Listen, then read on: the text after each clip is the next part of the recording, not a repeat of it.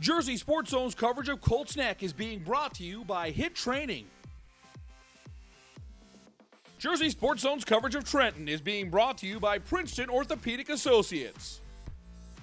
It's the Central Group 4 Boys Final, and we have number one seed Colts Neck hosting 7 seed Trenton. Tornadoes looking for their first title since 2014.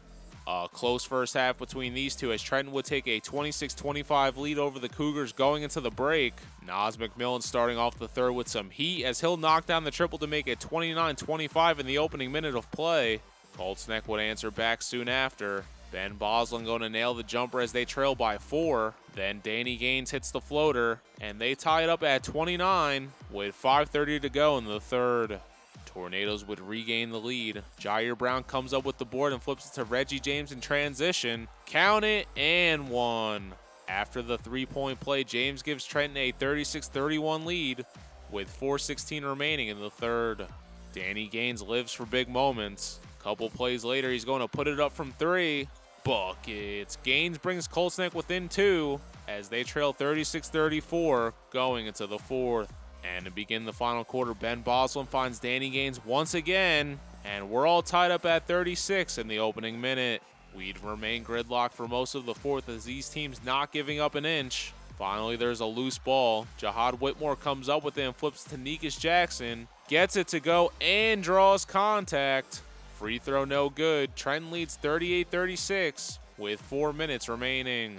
Soon after, Jackson with some fresh cookies is going to return the favor to Jake Alfred, and they're ahead 42-38 over Colts Neck with 2.40 to play. We have less than a minute remaining, and the Cougars are desperate as they trail 42-38. Danny Gaines no good on the lay-in. Negus Jackson gets the rebound, tries to get it out, but Ben Boslin steals it and flips it back to Gaines from three.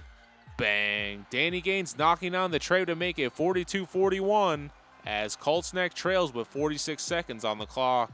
It's crunch time and the clock is running with under 30 seconds to play. Colts Neck down by one looking to be heroes late. There's a loose ball and the Tornadoes are going to hold on. No, the two defenders collide and Ben Boslin just saves it from going out. Reggie James intercepts and gets fouled immediately, so he'll shoot one and one as Trent is up 42-41 with nine seconds remaining. The free throw is unsuccessful. Colts Neck down by one with no timeouts will try to hold for one last shot. Ben Boslin looks to Danny Gaines for the win from three. No good, and Trenton holds on to win. 42-41 is your final from Colts Neck. Trenton, your 2018 Central Group 4 champs. It's their first title since 2014. An amazing run by the Tornadoes capped off in thrilling fashion. They were down 17 points in the fourth to second seed Hunterdon Central in the quarterfinals and rallied back to win in overtime. Took down third seed Hightstown 70 to 56 and now they beat the number one seed to earn a sectional championship. Sometimes the numbers just don't matter when you have drive like that. Jair Brown with 10 points on the night. Negus Jackson and Reggie James finish with 8. And Jake Alfred gets 7. Tornadoes have a date with South Jersey Group 4 champion Shawnee on March 7th in the Tournament of Champions. Afterwards, we caught up with some of our heroes of the game and an emotional Daryl Young on how his team pulled off this close victory. It just, it felt good, man. We knew we were going to be here, though, but it felt good to finally get here, man. It felt good to do it with your brothers. So coach just said this is what we built for. Our defense built our team built for defense. One stop, we get get a Central Jersey championship. That's all it was about, getting that one stop. Uh, this this victory is great, man. We ain't been here since 2014. We ain't won this since 2014. So to come out here and do this for the city is great. The city love us. We love ourselves. We come out here. We did big tonight.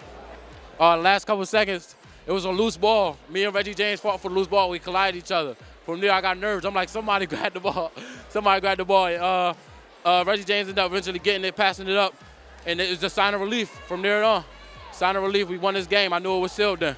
Oh man, this is this is an awesome feeling.